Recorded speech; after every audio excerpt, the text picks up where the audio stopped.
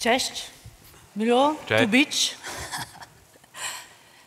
Hello, uh, it's really nice to be here, and um, uh, I will start with a very nice uh, picture of Hadron Collider, because uh, I believe that uh, we humans could be perceived as uh, elemental particles in a physical field, and depending all the, on the forces of that field and other particles in this field that interact, we make our choices, we trespass things, and make reactions that are actually shaping our lives. So, what actually makes us what we are today?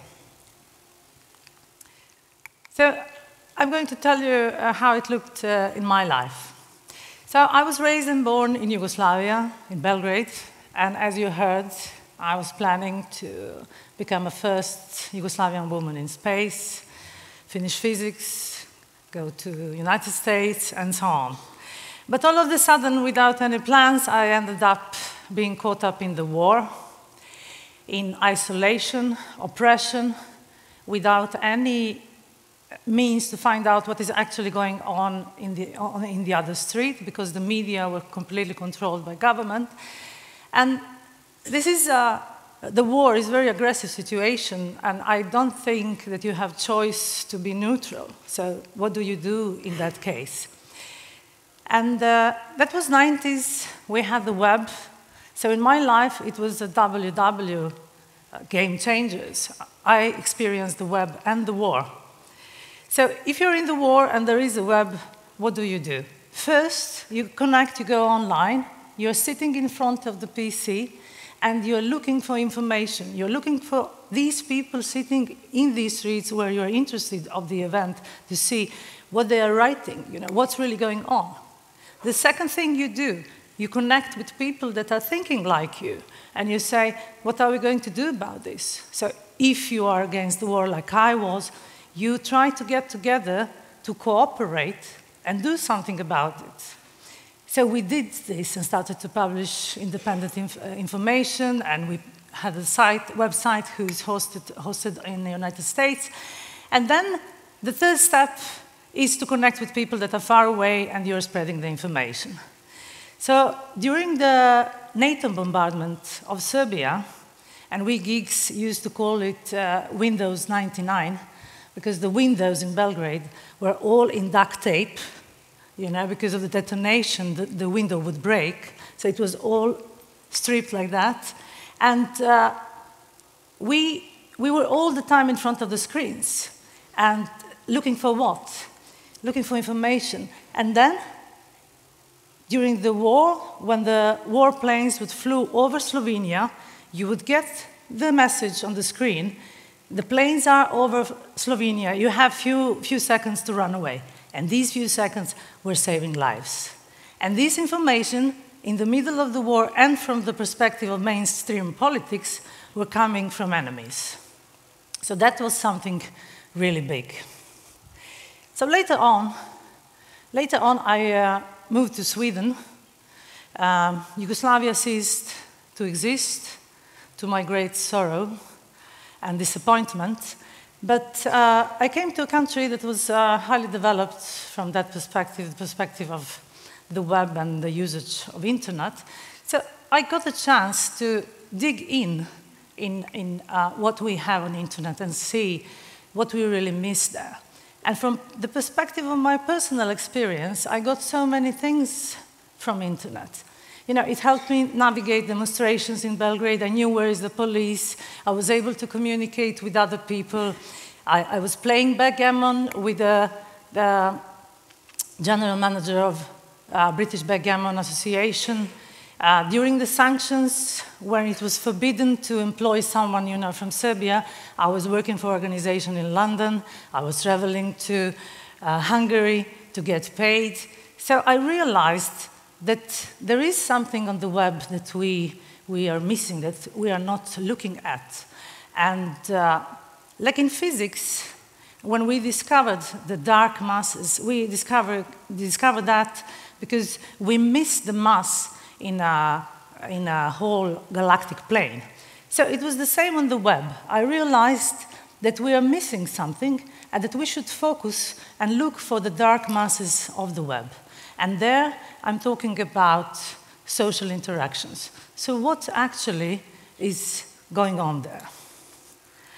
So, I did my PhD in analyzing web communities and what actually happens as a, how to say, um, implications of our usage on the web. And I analyzed immigrants and refugees from two parallel but different contexts. One, one direction, there were immigrants and refugees from Yugoslavia, so with the same cultural background, but they flew over and settled in all over the world, but they are present on internet. And the other group that is contextually different, like analyzing immigrants that came to one country, in this case, uh, to narrow down in PhD research in Sweden. And while I was analyzing this, I realized that something is mutual for both groups. Uh, what we do on the web is actually that we build trust that is built on iterative positive experience. And this iterative positive experience brings people to trust even more, and then they want to share more things and they offer help. But they offer help to the community that they never met before, and they don't expect anything in return. And this is uh, in science called diffuse reciprocity. And third thing that happens, we connect with each other. And we connect over classes, over time, and over space. So all of a sudden, we got new field that not only changed how we communicate, but it also changed with whom we communicate. It took us much, much further. So what did we get with web communities? I mean, according to immigrants and refugees I analyzed, you got live info center. This is how they call it. They say, whenever you go there, you find some information. Then they got new space to communicate. They can talk about, you know, uh, bad experiences, experiences about new countries, look for help, or something like that. And third, they have new relationship building tool. So what we got here is actually amplifier. We got a tool that amplifies everything we do. For, for, people who are very social, this is going to be a tool that is helping you to be more social and find more contacts. For people that are not so social, that are introverts, it's going to help that you find information, but you don't have to get really in contact with so many people. So it's actually the tool that, is, that caters our needs. And then we come to this big question. So does it connect us or not? So in my research, I identified something interesting, and I call this uh, paradox immigrants anti-immigrant paradox.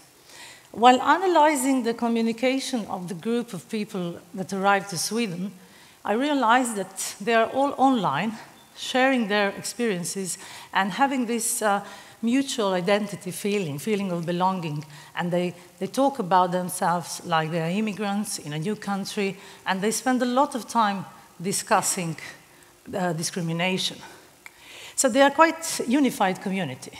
But then, when the discussion starts heated up, when the religion gets, religious background gets in the discussion, all of a sudden this identity splits. Unifying identity of an immigrant now is becoming something different.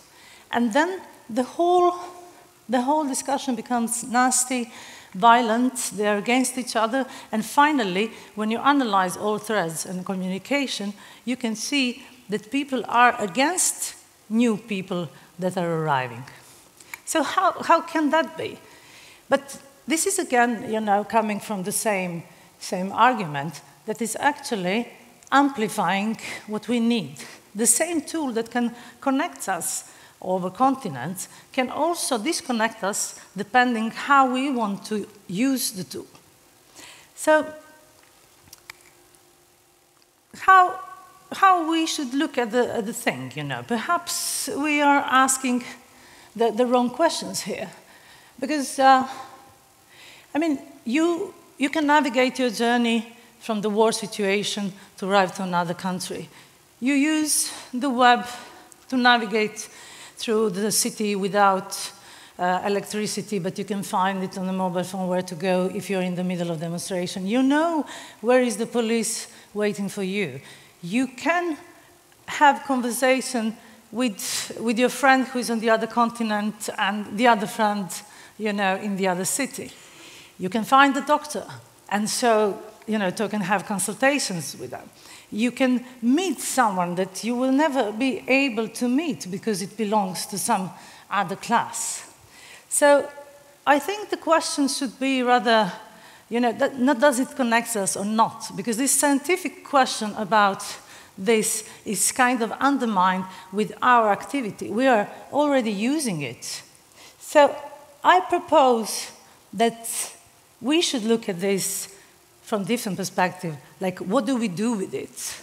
And uh, I think that the power is in our fingers. And uh, my proposal is that we should use it to cooperate, get together, and do something meaningful with this. Thank you very much.